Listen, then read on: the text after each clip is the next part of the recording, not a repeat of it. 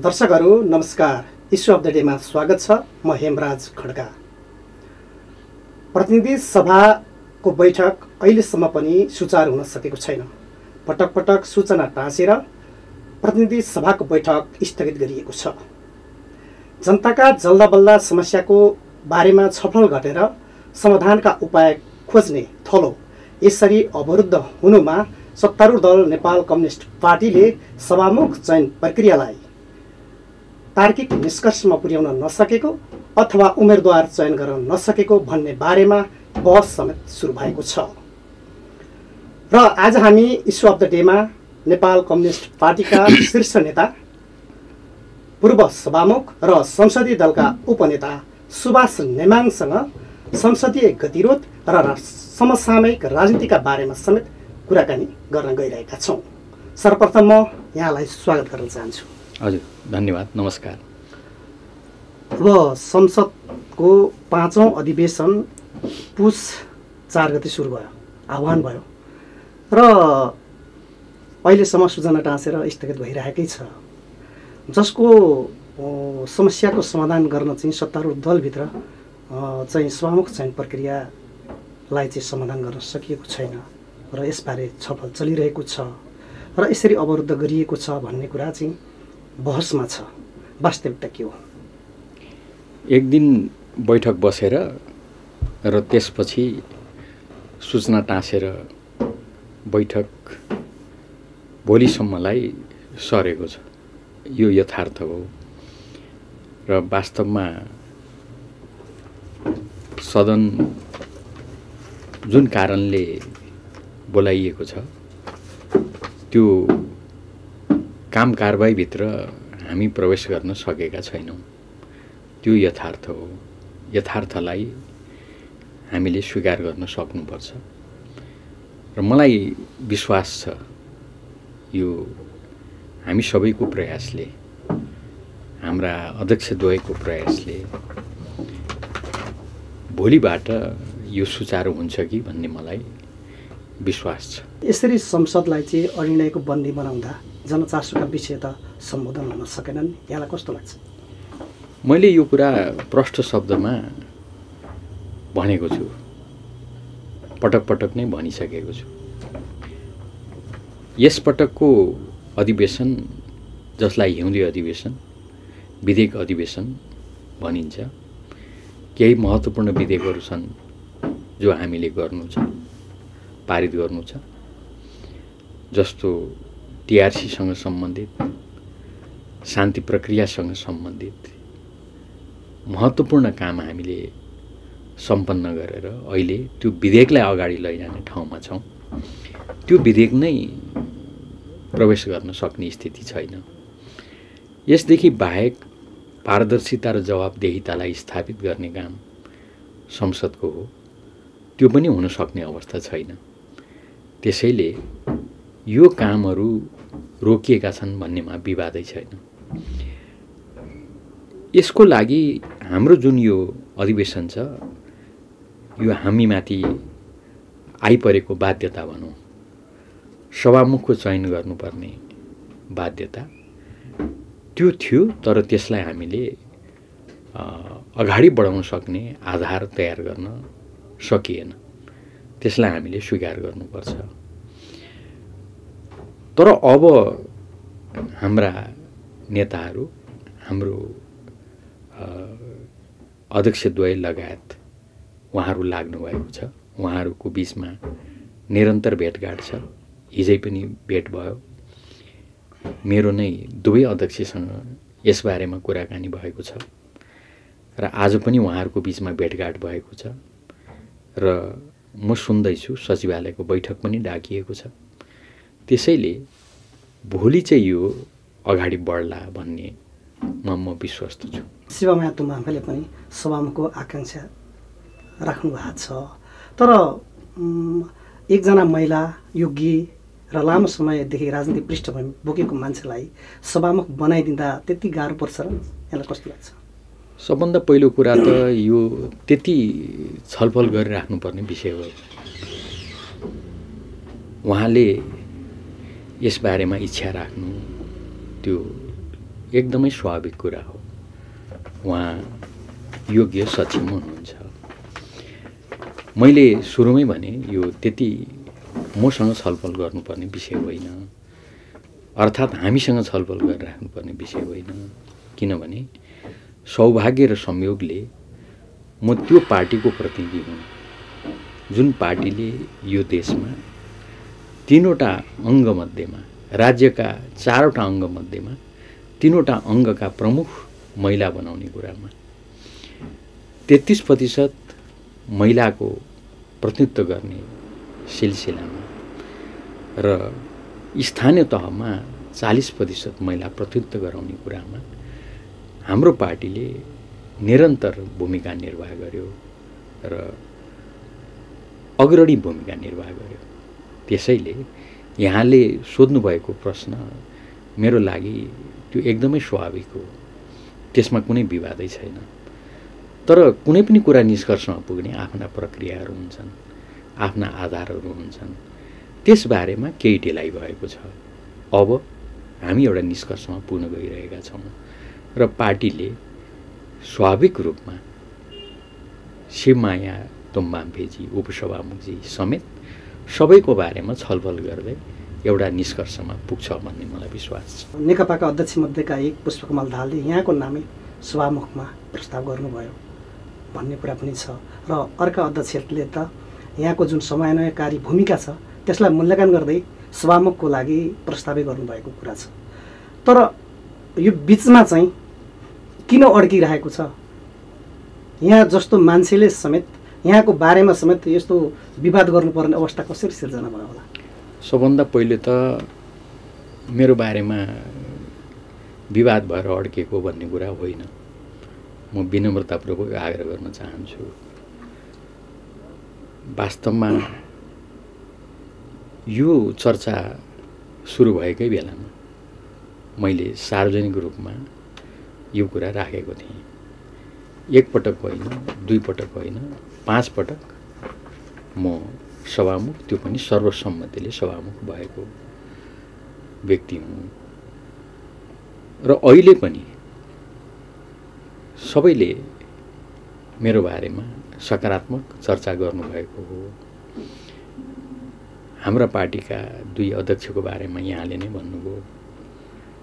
अस्तिको दिन मात्रै पनि मलाई अध्यक्ष प्रचण्डले भेटेर भन्नुभयो बाहिर अलिअलि जुन चर्चामा आएको छ ती चर्चाहरू ठिक होइन नै। म त सदा सर्वदा तपाईँको पक्षमा सकारात्मक छु।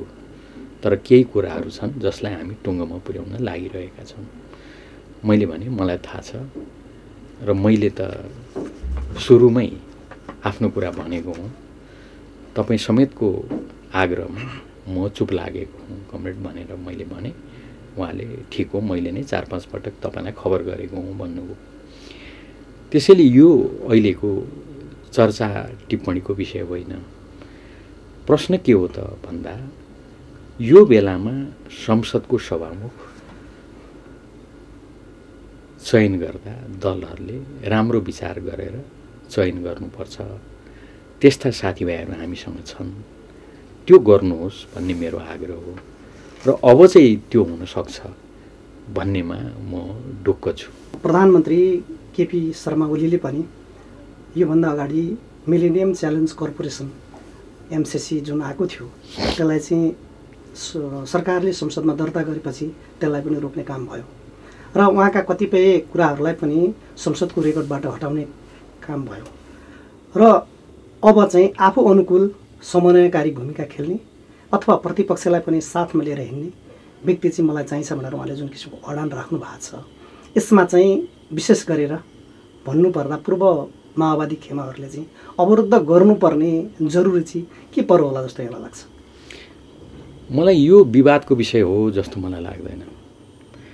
प्रधानमन्त्रीजीले सभामुख कस्तो हुनुपर्छ भनेर उहाँले जे सोचाइ राख्नुभयो त्यो वास्तवमा सभामुख सदनमा सबैलाई मिलाएर लिएर जान सक्ने राष्ट्रपतिलाई प्रधानमन्त्रीलाई विपक्षी दलको नेतालाई संसदमा रहेका सबै दलहरूलाई एक ठाउँमा उभ्याउन सक्ने क्षमताको मानिस चाहिन्छ।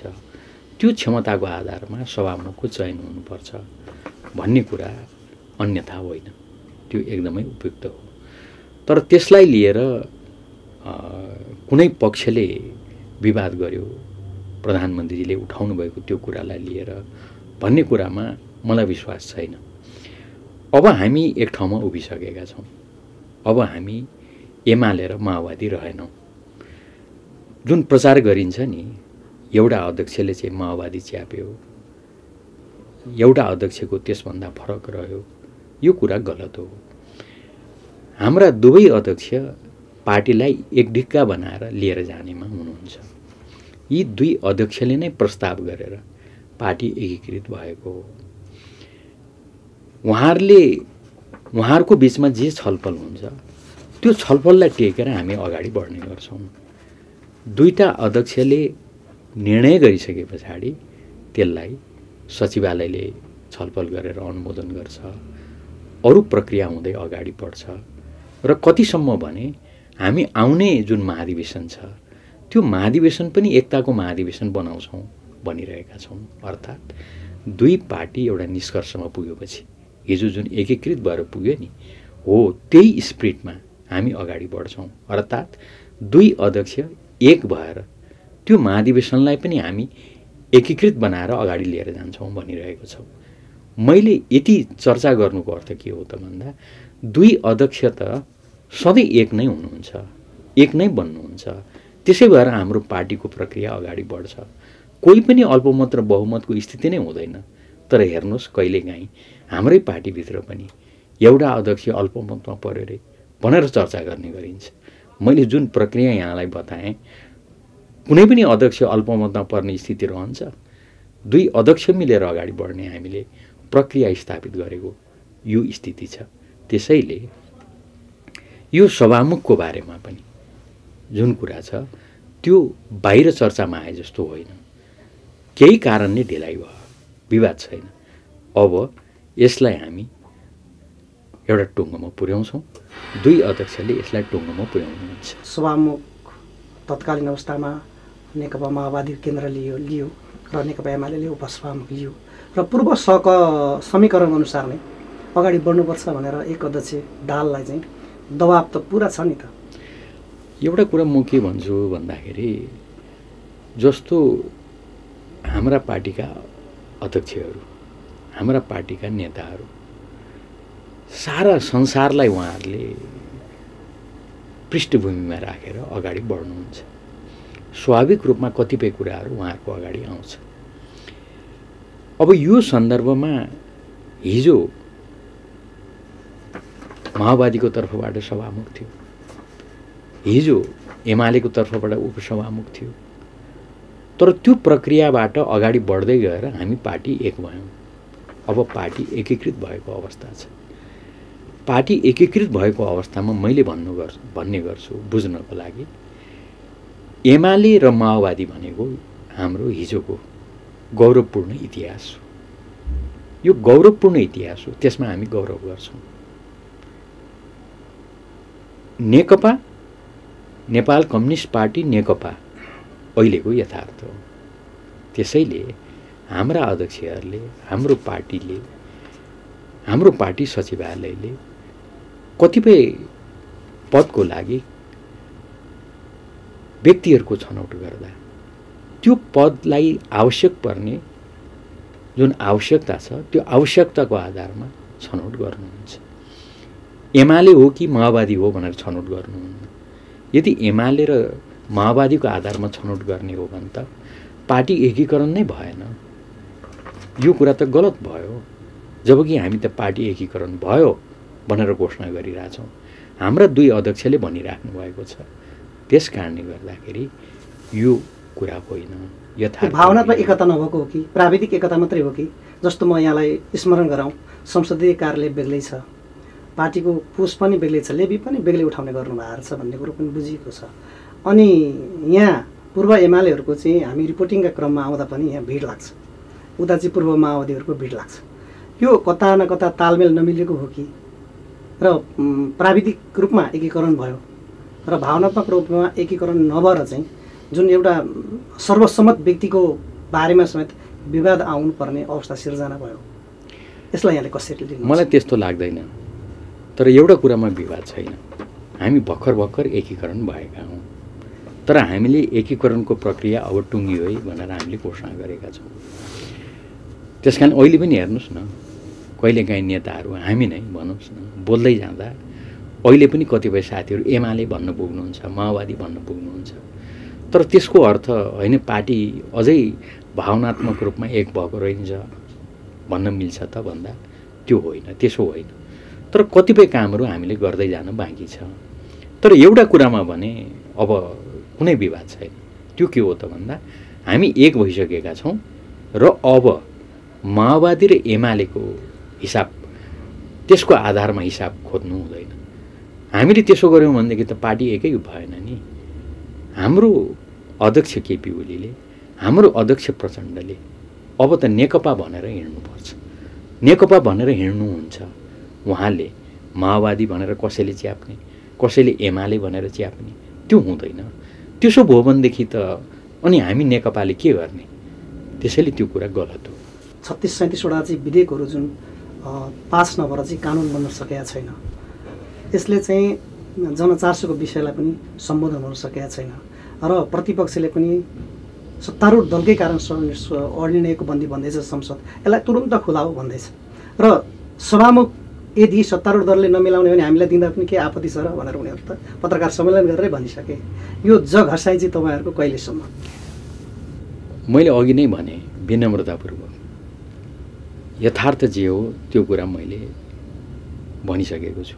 यथार्थ भनेको केही ढिलाइ भएकै हो।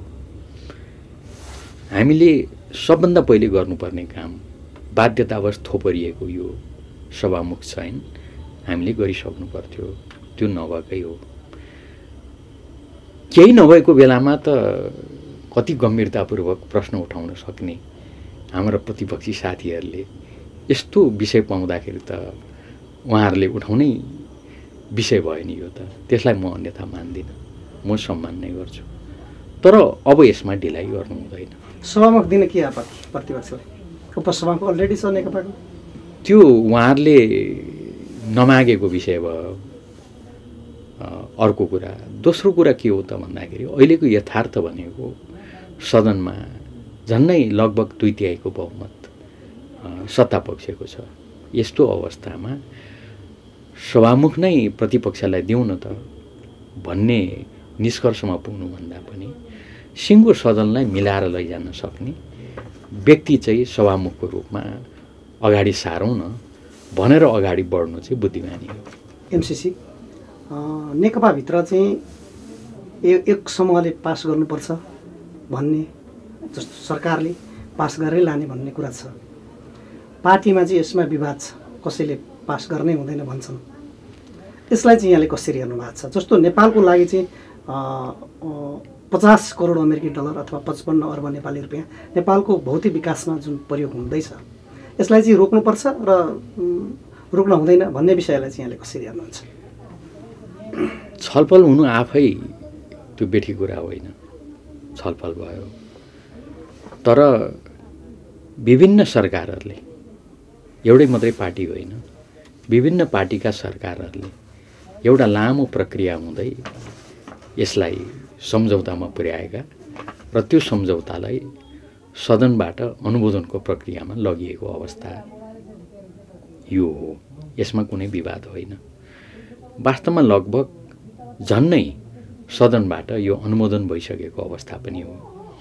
यस्तो अवस्थामा यो अगाडि बढेन र यसलाई लिएर विशेष त सत्तारूढ पार्टीभित्र केही छलफल भएको छलफल हुनुलाई साह्रै अन्यथा मान्नु हुँदैन भन्छु म। र अब कतिपय कुराहरू यही कारणले पनि प्रष्ट हुँदै गइरहेको छ। यसले गर्दा हामीलाई त्यो फाइदा भएको छ। धेरै विज्ञहरूले यसबारेमा प्रष्ट पारेका छन्। राजनीतिक दलहरूले प्रष्ट पारेका छन्। र अब त सम्बन्धित देशका आधिकारिक व्यक्तित्वहरूले त्यहाँको पक्षहरूले प्रष्टताका साथ यो के हो भनेर पनि अगाडि आइसकेको अवस्था छ। यस्तो अवस्थामा यो जे भयो त्यो अलिकति विवाद जुन भयो त्यो त्यति नभएको भए पनि हुन्थ्यो भन्ने लाग्न सक्छ। तर जे भयो त्यसलाई अन्यथा नमानिकन अब अगाडि बढ्नु राम्रो हुन्छ भन्ने लाग्छ। सरकारले चाहिँ अनुदारवादी विधेयकहरू संसदमा प्रस्तुत गरिरहेको छ भन्ने कुरा छ। यसलाई चाहिँ यहाँले कसरी लिनुहुन्छ? वास्तवमा हामीले हाम्रा कुराहरू जनता समक्ष पुर्याउन सकेनौँ। किन पुर्याउन सकेनौँ त भन्दा पुर्याउन सक्ने जुन मेकानिजम हो प्रक्रिया हो त्यसले नै पूर्णता पाउन सकेको थिएन। मैले बारम्बार यो कुरा भन्ने गरेको छु। अब बल्ल त्यसले पूर्णता पाएको छ। हामीले धेरै राम्रा कामहरू गरेका छौँ। ती कुराहरू हामीले लैजान सकेको छैनौँ जनतामा पुर्याउन सकेनौँ। कतिपय कुराहरू गलत कुराहरू भ्रमको रूपमा प्रस्तुत भएका छन् त्यसलाई खण्डित गर्न सकेका छैनौँ यथार्थ भनेको यो हो अब हामी त्यसतर्फ अगाडि बढिरहेका छौँ र हामी जनता समक्ष हामीले गरेका कुराहरू पनि राख्छौँ। हाम्रो विरुद्धका भ्रमहरूलाई पनि हामी छिर्छौँ र यो निश्चित समयभित्र हामीले जनता समक्ष गरेका जुन प्रतिबद्धताहरू छन् ती प्रत प्रतिबद्धताहरू पुरा गर्दै हामी अगाडि बढ्छौँ। तल्लो स्तरका मान्छे छन् जुन लेमेन ठेला चलाउने रिक्सा चलाउने अथवा अत्यन्तै तल्लो निम्न आय स्रोत भएका मान्छेहरू पनि छन् र नेपाल रेमिटेन्सले चलेको देश पनि हो। तर सरकारले तिनीहरूलाई सम्बोधन गर्न सकेन भनेर चाहिँ आलोचना छ। र यो बिचमा चाहिँ सरकारले एउटा दुईवटा राम्रा के काम गरौँ भनेर पनि जनताले चाहिँ थाहा पाउने अवस्था छैन त्यसलाई यहाँले कसरी लिनुहुन्छ मलाई यही कुरा मैले एकदम छोटकरीमा भन्नु खोजेँ। अहिले म देखाएरै भन्छु जस्तो उदाहरणको लागि।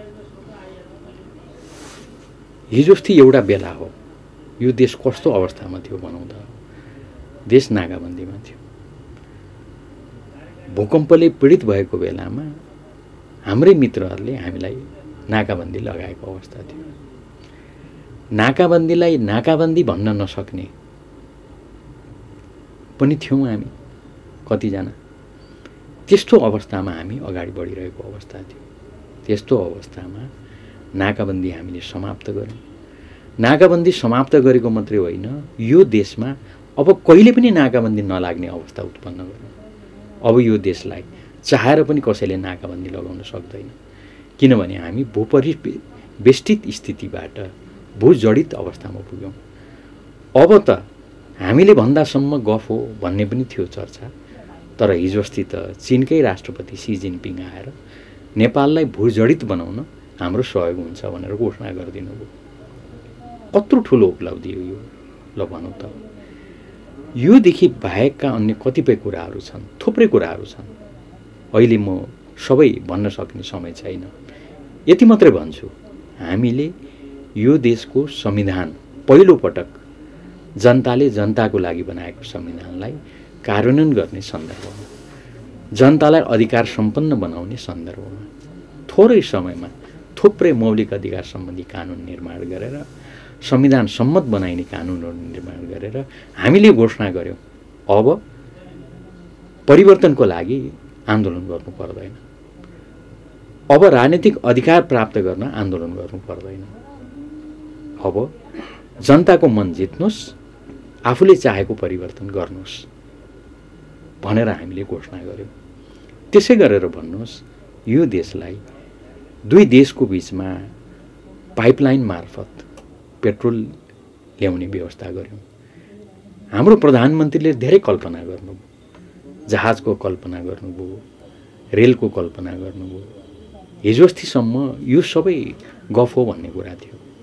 मैले अघि लामो छलफल गर्न नखोजेको हो तर तपाईँले कोट्याउनु भयो र म भन्छु अब त्यो कल्पना रह्यो र अब त्यो त हाम्रो आँखा अगाडि अब हुनेछ भन्ने स्थिति उत्पन्न भयो। रेलका कुराहरू अब आइसकेका छन्। यो लगायतका थुप्रै कुराहरू भएका छन्। अब त टनेल बन्ने स्थिति आएको छ। सुरुङ को बाटो अबबाट हामी अगाडि बढ्ने स्थिति आएको छ। तर अझै पनि हामी सन्तुष्ट छैनौँ। थुप्रै कुराहरू गर्न बाँकी छन्। ती कुराहरू गर्न सक्ने अब केही समय बाँकी छ।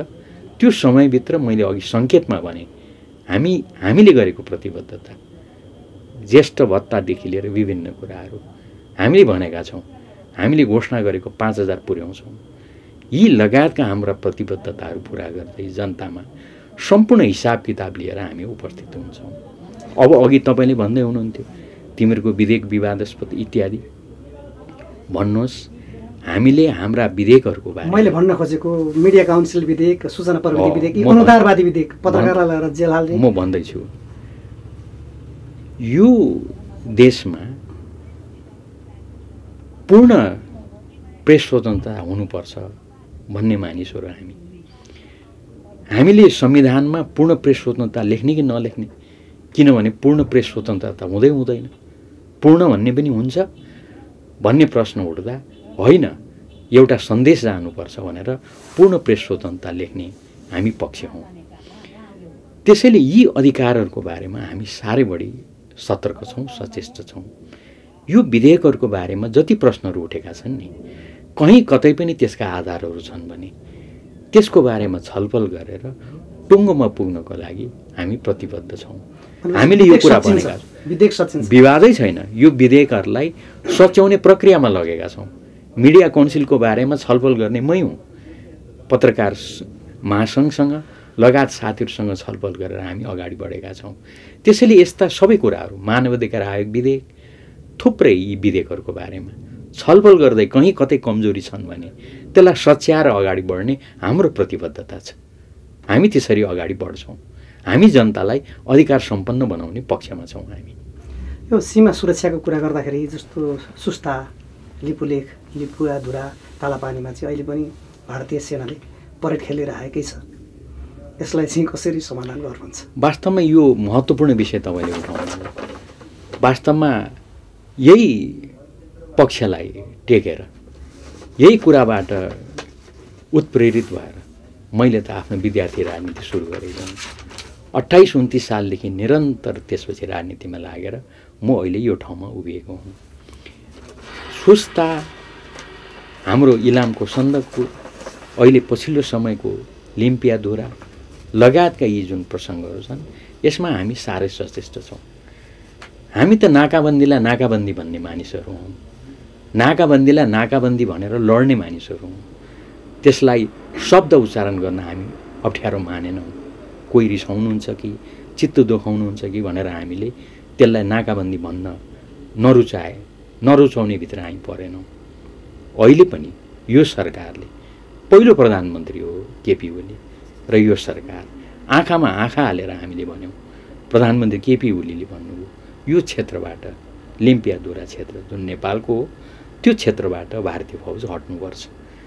उहाँले भन्नुभयो सरकार यसलाई सच्याउनको लागि हाम्रो अधिकार स्थापित गर्नको लागि लागिरहेको छ। पहिलोपटक प्रधानमन्त्रीले सबै दललाई बोलाउनु भयो यो तहको छलफल भयो। सबैले हार्दिकतापूर्वक सरकारको अडानको प्रशंसा गरे र यही प्रष्ट अडानका साथ अगाडि बढ्नको लागि आग्रह गरे। त्यही अनुसार सरकार अगाडि बढिरहेको छ। यो कुनै पनि क्षेत्र लिम्पियादुरा सुस्ता पर सन्दकपुर लगायतका यी क्षेत्रहरूबाट नेपाल पछाडि हट्दैन। अब भारतले चिनसँग जुन कालापानी एरियामा सम्झौता गर्यो व्यापारिक सम्झौता गर्यो नेपाललाई कुनै बिना जानकारी नै सम्झौता गर्यो र उनीहरू चाहिँ अहिले मौन जस्तै छन्। इन्डियाले कहिले के विज्ञप्ति परराष्ट्रको प्रवक्ताले एउटा विज्ञप्ति दिन्छन्। चिन पनि खासै बोलेको जस्तो अवस्था छैन। यस्तो अवस्थामा हामी दुई बिचमा चाहिँ चेप्पोमा परेको अवस्था छ। यसलाई चाहिँ सरकारले कुटनीतिक राजनीतिक अथवा कुन माध्यमबाट चाहिँ अगाडि बढाउँदा उपयुक्त होला? विज्ञहरूको र सबै दलहरूको सिङ्गो देशकै कुटनैतिक ढङ्गले यो समस्या समाधान गर्नुपर्छ भनेको छ। प्रष्टताका साथ दृढताका साथ सरकार अगाडि बढ्नुपर्छ भन्ने सिङ्गो देशको माग छ। त्यसै अनुसार सरकार अगाडि बढ्छ। प्रधानमन्त्रीले भनिसक्नु भएको छ।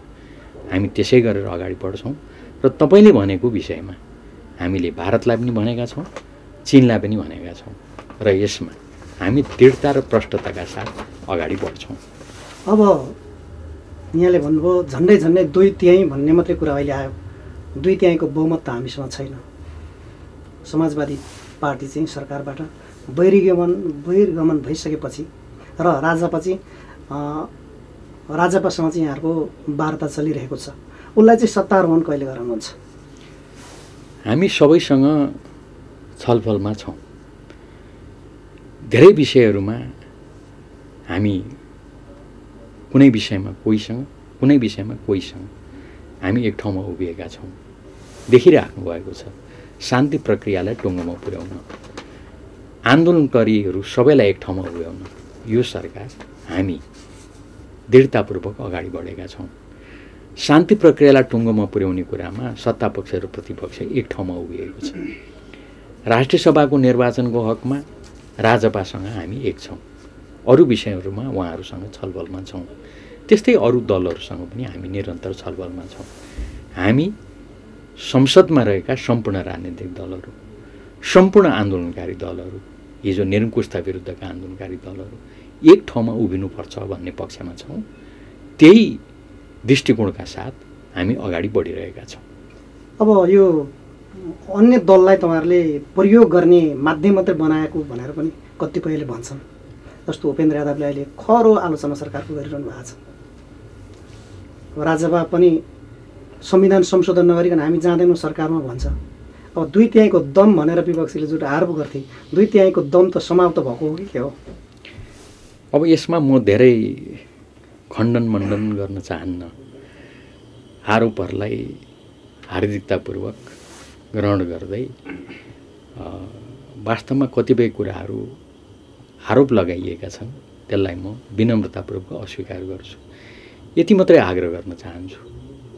आरोप लगाइरहने साथीहरूलाई जनतालाई निराश बनाउने ढङ्गले चाहिँ हामी आरोपित नगरौँ है। त्यसले राम्रो गर्दैन सम्म चाहिँ म भन्छु। अब जहाँसम्म हाम्रो विरुद्धका कुराहरू छन् हामी एकदम प्रष्ट छौँ।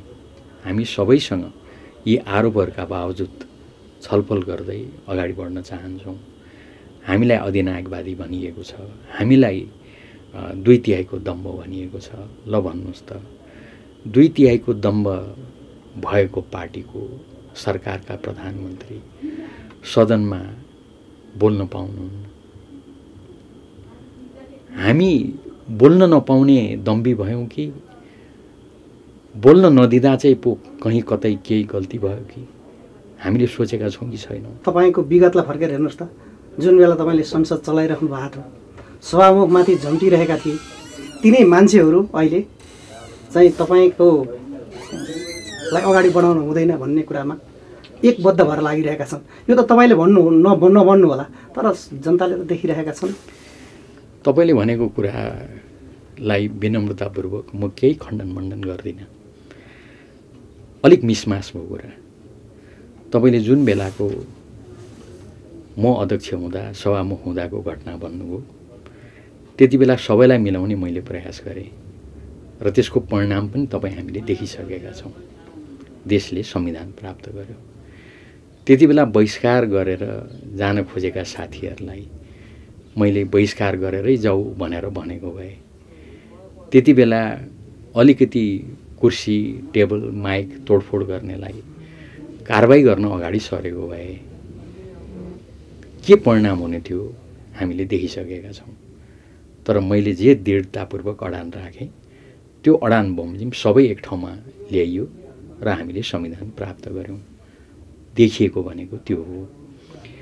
त्यसैले म त्यसतर्फ अरू धेरै जान चाहन्न। म पछिल्लो क्रमको कुरा गर्दैछु। तपाईँले दम्बको कुरा गर्नुभयो नि। त्यो दुई तिहाईको दम्ब भएको सरकार अहिले छ। दाबी त त्यो हो नि त। कस्तो दम्ब भएको सरकार त? भन्दैछु म भन्दा। उसले आफ्नो दुई तिहाई भएको पार्लियामेन्टमा आफ्नो प्रधानमन्त्रीले बोल्न पाउँदैन। आफ्नो गृहमन्त्रीले सूचना सुनाउन पाउँदैन। वास्तवमा यसलाई राम्रोसँग हेरौँ भन्ने मेरो आग्रह हो। विनम्रतापूर्वक मेरो आग्रह यसमा मैले कुनै खण्डन मण्डन गर्न चाहेको होइन।